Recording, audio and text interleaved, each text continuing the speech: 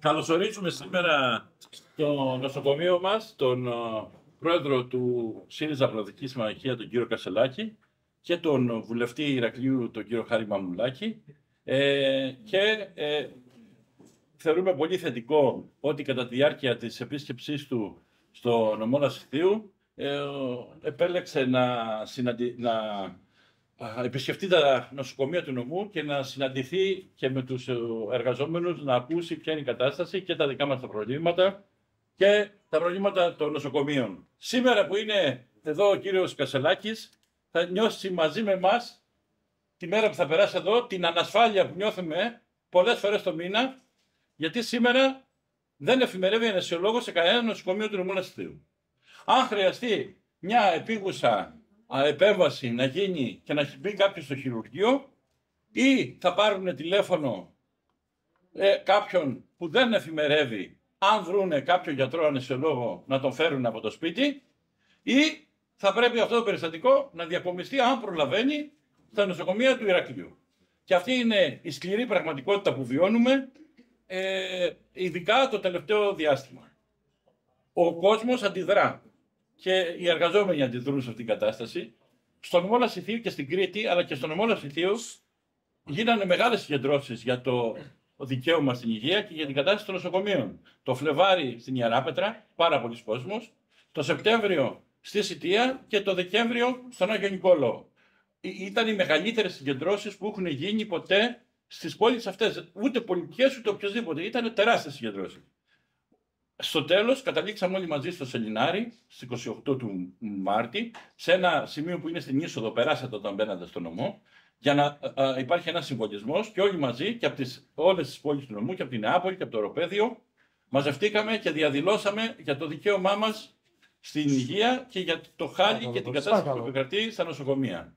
Καταφέραμε λοιπόν να ενωθούμε κιόλας, γιατί ένα αρνητικό που έχει ο νομός μας είναι ότι μας βάζουν πολλές φορές και σκόπιμα οι κυβερνώντε να τσακωνόμαστε μεταξύ μας και να λένε δεν φταίει η κυβερνητική πολιτική για το χάλι του νοσοκομείου Αγίου Νικολάου, φταίει που έχουμε τρία νοσοκομεία. Δεν φταίει η κυβερνητική πολιτική στην Ιεράπετρα, φταίει ο κακός Άγιος Νικόλαος. Απέναντι λοιπόν σε αυτή τη λογική, εμείς ε, ε, αντιδράσαμε.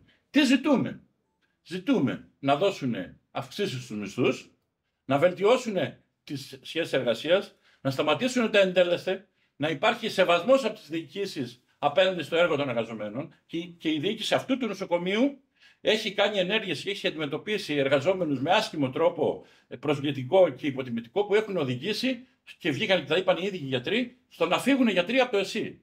Αυτά χρειάζεται σεβασμός και, και ε, αξιοπρέπεια. Εμείς έτσι θέλουμε να δουλεύουμε γιατί δουλεύουμε κύριε Κασελάκη ε, ε, δεν έχουμε τη μεγάλη δουλειά που έχουν τα νοσοκομεία της Αθήνας, της Θεσσαλονίκη, αλλά επειδή είμαστε λίγοι Μας χρωστάνε άδειες και ρεπό πολλών ετών. Το, το δικαίωμα στην άδεια ή στο ρεπό που έχει κάθε εργαζόμενος παντού, εμείς δεν το έχουμε. Έχουμε συναδέλφου που έχουν άδειες από το 2019, από το 20. Έχουμε 80 μέρες μέσω όρο που χρωστάνε σε κάθε εργαζόμενο άδειες και ρεπό.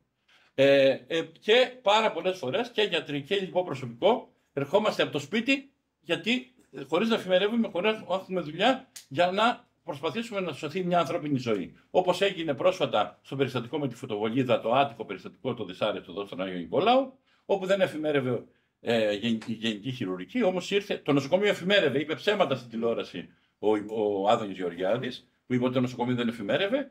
Εφημέρευε το νοσοκομείο χωρίς να εφημερεύει ε, ε, γενικός χειρουργός. Και ήρθε ο γιατρός από το σπίτι και έδωσε μάχη να σώσει τη ζωή αυτού του παιδιού. Δεν, το ότι χάθηκε αυτή η ζωή δεν φταίει το ότι δεν υπήρχε χειρουργός, γιατί ο γιατρός ήταν στο νοσοκομείο, αλλά ήταν χωρίς να εφημερεύει. Και τα, τα είπαμε αυτά του Γεωργιάδη. Ε, Όμως αυτός ακολουθεί μια συγκεκριμένη πολιτική. Και σήμερα τα νοσοκομεία του νομού εφημερεύουν χωρίς ανεσιολόγο. Και ε, ε, δύο ακόμα κουβέντες, εκτός από αυτά τα αιτήματα που είναι το μισθολογικό, είναι πάρα πολύ βασικό. Φεύγουν και είχαμε τέσσερις ακτινολόγους, οι δύο φύγανε και πήγαν στο ιδιωτικό τομέα όπου τα χρήματα είναι διπλάσια. Έχουμε γιατρούς από τη ΜΕΘ που φύγανε και πήγανε πρώτα στο Ηράκλειο και μετά στην Κύπρο. Έτσι. Και αυτή τη στιγμή κλείσανε δύο κλίνες ΜΕΘ στο νοσοκομείο Αγίου Νικολάου την προηγούμενη εβδομάδα. Τεράστιο πρόβλημα. Γιατί στη ΜΕΘ του δικού μας νοσοκομείου νοσηλεύονται περιστατικά από όλη την Νότια Κρήτη, α, ε, από όλη την Νότια Ελλάδα, από όλη την Κρήτη έρχονται περιστατικά από Ρέθυμνο κλπ. Αλλά και από Ρόδο, από Κάσο. Κάρ- Κα- Κάσο, Κάρπαθο, Σαντορίνη και το ότι αυτή τη στιγμή ε, κλείσανε δύο κλίνες ΜΕΘ, κλείσανε γιατί δεν υπάρχουν γιατροί. Και γιατί βγαίνουν οι προκηρύξεις και οι προκηρύξεις πιο πολλές βγαίνουν άγονες. Γιατί δεν κάνουν αιτήσεις λόγω των συνδικών εργασίας και των χρημάτων. Δύο κουβέντες ακόμα. Έχουμε συμβασιούχους στο νοσοκομείο πολλούς. Είναι 123. Τα λέμε εδώ σε ένα υπόμνημα που θα σας δώσουμε, το έχουμε στείλει και με, ε, και με mail ε, αυτό το υπόμνημα και τα λέμε πολύ αναλυτικά και τα νούμερα του νοσοκομείου. Ε, από εκεί και πέρα, α, αυτοί οι άνθρωποι δουλεύουν πολλά χρόνια στο νοσοκομείο, ήταν κατά τη διάρκεια της πανδημίας η Κασελάκη στην πρώτη γραμμή και ε, δικαιούται με βάση και το ευρωπαϊκό, τους ε, ε, ευρωπαϊκούς κανόνες να γίνουν αορίστου. Η κυβέρνηση αυτό το αρνείται.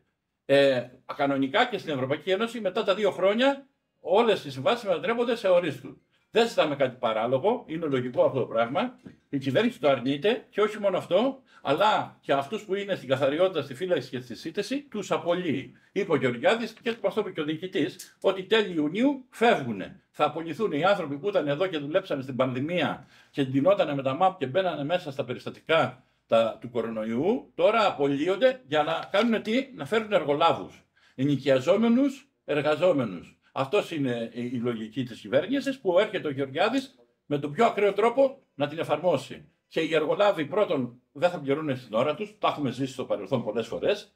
Δεν θα, πληρω- θα τους λένε πάρε το δώρο και γύρισε με το πίσω. Η- Πραγματικά οι σχέσεις εργασίας με τους εργολάβους είναι σχέσεις εργασίας γαλέρα. Μεσαίωνας είναι. Έτσι. Και αυτό δεν το θέλουμε. Έφτιαξε ο ΣΥΡΙΖΑ ένα νόμο για να α, φύγουν οι εργολάβοι ε, και με βάση αυτό το νόμο φύγανε το 2017-18 και ήρθαν με συμβάσεις ορισμένου χρόνου. Δυστυχώς αυτός ο νόμος που είχε ο ΣΥΡΙΖΑ είχε ημερομηνία λήξης. Έλεγε ότι ισχύει μέχρι 31 του 19. Αυτό ήταν το μόνο αρνητικό. Και το έχει πάρει τώρα αυτό η Νέα Δημοκρατία και λέει ότι εμείς δεν μπορούμε να προσλάβουμε συμβασιούχους στην καθαριότητα. Άμα θέλει, τροποποιεί το νόμο, εμείς το έχουμε ζητήσει. Μπορεί να τροποποιηθεί ο νόμος και να πάρουν τους εργαζόμενους ξανά να γίνουν, ε, να γίνουν προκηρύξεις κτλ. Το άλλο ο, ζήτημα είναι ότι όλοι εμείς που δουλέψαμε και οι γιατροί και οι υπόλοιπε ειδικότητε στη διάρκεια της πανδημίας και πιο πριν, η κυβέρνηση αρνείται να μας βάλει στα βαρέα και ανθυγινά. Ε, υπάρχει η Επιτροπή Υπουργείου Εργασίας με τον κύριο Μπεχράκη, έκανε συνεδριάσεις το 2020 και το 2021. Έχει βγάλει πόρισμα που λέει ακριβώς ποιες ειδικότητες πρέπει να μπουν στα βαρέα και ανθυγινά. Στον ιδιωτικό τομέα, για να καταλάβετε, ο νοσηλευτής είναι στα βαρέα και ανθυγινά, παίρνει βαρέα και ανθυγινά ένσημα.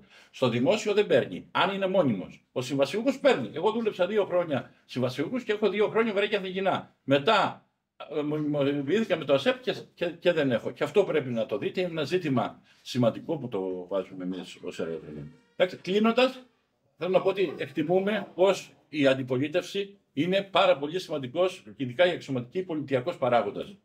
Περιμένουμε από την κυβέρνηση, περιμένουμε και από εσάς να ασκείτε μια σωστή ε, ε, και μαχητική αντιπολίτευση. Στο θέμα που έγινε με τον ο, ο συμπολίτη μας βγήκε μια ανακοίνωση που είχε ορισμένα σημεία που θέλανε διε, διερεύνηση. Δηλαδή δεν, δεν πέθανε αυτός ο άνθρωπος επειδή ε, δεν υπήρχε ε, χειρούργος στο νοσοκομείο. Ε, Να είμαστε σε επαφή, είμαστε στη διάθεσή σας και σε όλους τους παράγοντες του κόμματός σας όσο χρειάζεται για να α, δίνουμε διευκρινήσεις για όλα τα θέματα και με τον κύριο Μαμουλάκη ήδη έχουμε επικοινωνία και επαφή και θα τη συνεχίσουμε αυτή την επικοινωνία. Σήμερα εμείς είχαμε και κινητοποίηση το πρωί, 10.30 μαζευτήκαμε στην είσοδο του νοσοκομείου, είναι Παγκόσμια ημέρα υγείας και χθες και θέλαμε ε, στην κινητοποίηση αυτή να διατρανώσουμε ότι η υγεία είναι δικαίωμα, δεν είναι εμπόρευμα. Αυτό ήταν το κύριο σύνθημά μας και τα αιτήματά μας και ε, εκτιμούμε ότι κι εσείς δέχεστε και ε, ε, ασπάζεστε ακριβώς αυτό το πράγμα. Για μας είναι